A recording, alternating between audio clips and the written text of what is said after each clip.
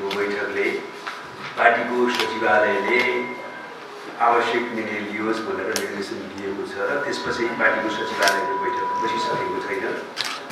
हामीले राष्ट्रिय हितलाई केन्द्रबिन्दुमा राखेर र यथार्थवादी पनि भएर एउटा निर्णयमा हामी पुग्नेछौँ र छिटै त्यो निर्णय हुनेछ जसले राष्ट्रको हितलाई केन्द्रबिन्दुमा राख्नेछ।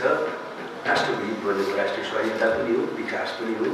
त्यो सबैलाई यथार्थवादी भएर विश्लेषण गरेर एउटा सकारात्मक निष्कर्षमा पुग्नेछ यो विषयलाई लिएर बसिसकेका छैनौँ हामी छिटै बस्छौँ यो अब धेरै जटिल विषय बन्ने स्थिति नरहला यो अलिक ढिलो भएको भन्ने कुरा चाहिँ सत्य नै हो तर पनि अहिले हामी छिटै एउटा निष्कर्षमा यसलाई पुर्याउँदैछौँ र सभामुख संविधानको प्रावधान र मर्मअनुसार अ, हाम्रो पार्टीले उम्मेदवारी दिन र सभामुख बनाउनका निम्ति उपसभामुख हाम्रो पार्टीको हुन नहुने स्थिति रहन्छ त्यसै कारणले उपसभामुखको राजीनामा सँगसँगै पार्टीले सभामुखको हाम्रो उम्मेदवारी पनि सुनिश्चित गरेर अगाडि बढाउनेछ तर हाम्रो पार्टी के कुरामा अब दृढ र स्पष्ट छ भने छ गते जो प्रतिनिधि सभाको बैठक बोलाइएको छ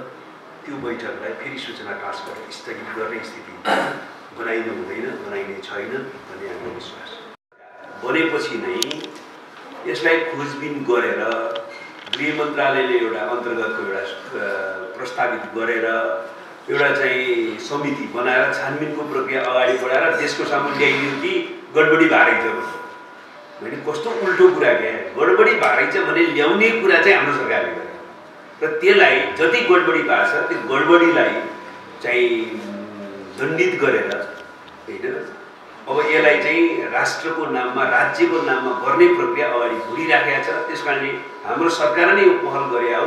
कतिपय पहिलाका सरकारहरूले गलत ढङ्गले काम कारवाही चाहिँ गरेको कुरा र त्यसमा कतिपय व्यक्तिहरूले गलत ढङ्गले संलग्न भएको कुरा देखिँदै आएको छ।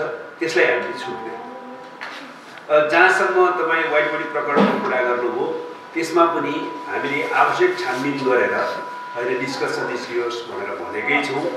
त्यसमा चाहिँ हामीले कुनै कतै हामीले राज्यलाई घाटा पुर्याउने वा अनियमितता हुने प्रक्रियालाई छुट दिएको समिति बनाएर समितिले काम गरेपछि हुने हो त्यसको समानान्तर भयो भनेर समितिले काम नगरेको भन्ने मैले बुझ्छु। अख्तियारले काम